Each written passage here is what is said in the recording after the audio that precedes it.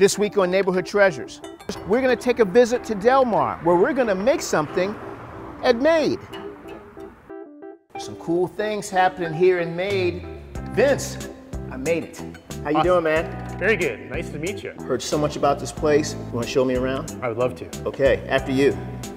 We've got all different kinds of workspaces here. Right on the right here, we've got silk screening, press. What is Made and how did you get here? Made is a makerspace, and basically what that means is that we have a lot of different workstations that people share. Here we have 3D printing, and we have all kinds of creative resources that we give access and education to. It's everything from woodworking, textiles, laser cutting, water jet cutting, machine shop, metal shop, you name it. We've got all kinds of resources for making real physical things. Made itself doesn't make a product. Our product is our members and their successes.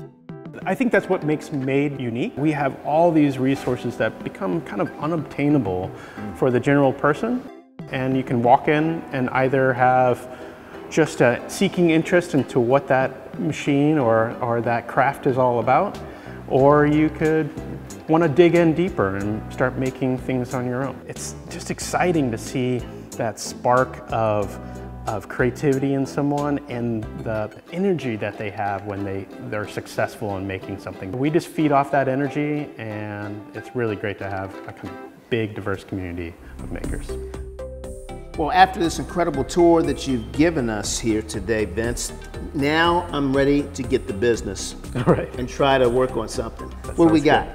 Uh, we're gonna, one of the projects we're gonna work on today is this uh, step stool. Okay. It's a good introductory project for, uh, we teach it in our Basics 101 CNC router class. And we take a sheet good, sheet of plywood, and we use a big machine, CNC router, which, and it transforms into a nice step stool project just like this. Take me to your big machine. All right, here we go. cool.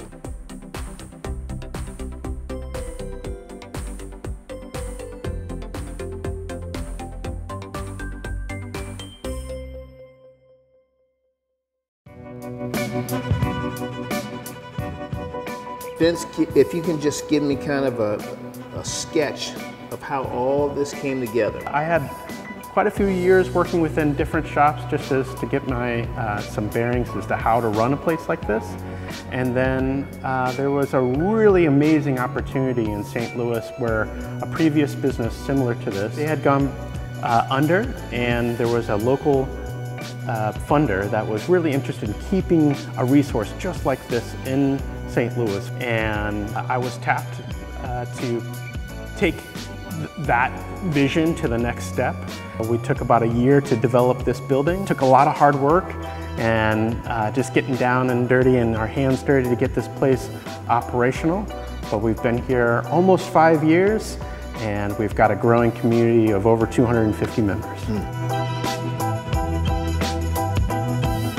think community is a huge aspect that we thought about when we brought Made here on Delmar. We were lucky enough to start our business right at the budding beginnings of a new district here on Delmar called the Delmar Maker District. It's where they're trying to cultivate a lot of like-minded businesses that bring resources of creativity and how to make things into the hands of the community. There's Craft Alliance, which is just half a block down the street, and Third Degree, one of our sister companies, half a block down the other direction. And the Magic House has a satellite location here too on our second floor. Uh, we have new restaurants and businesses opening all the time. And so be part of something that is regenerating a section of Delmar that a lot of people typically just kind of pass by previously is pretty special. Every third Friday of the month, we have an open house with all the like-minded businesses here in the district. You can come and see live demonstrations of equipment, talk with people from our community, and even some of those people from the community are, are either selling crafts and goods or just explaining about how they came to understand what MADE is all about and how they got that started. Where's the passion come from? I think it started back when I was pretty young and was curious about how things are made, whether it be going to craft fairs or even my grandpa is a farmer, my other grandpa was a mechanic. So I was just really curious as to where things came from and how things went together. Fast forward a few years, when I was getting out of college, I had an industrial design degree and that's kind of revolved around product design. And I was going around local craft shows and craft fairs and I saw one particular maker really gravitated towards me and he was a, a woodworker and I, that's where I just I started asking questions about like how did you get started and how did you acquire the resources that you needed?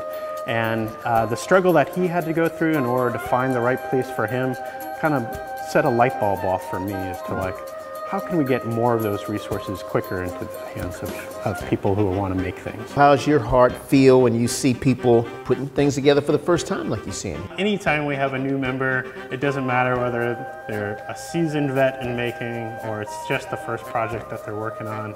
You can see the excitement that they have when they're putting the final touches together. Something special about that moment.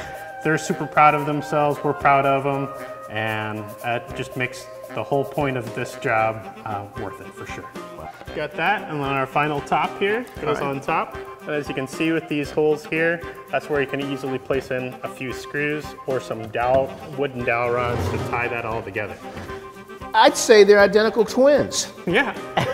That's the beauty of making things at Made. You can make them again and again, and they'll come out just like the last time. Vince, this was awesome. We want to thank you for bringing us in here and showing us how it's done. Absolutely. All right. Appreciate that. Yeah. All right.